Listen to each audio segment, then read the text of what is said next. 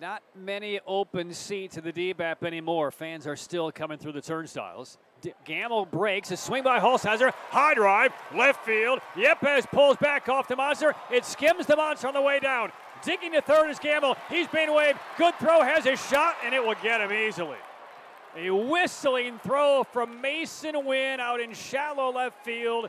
The shortstop who throws over 100 miles an hour put a rocket in the middle of the bullseye to Herrera. And Gamble trying to score on the double by Holsizer, thrown out. No runs, one hit, one left. We'll move to the third. Redbirds two, Bulls nothing.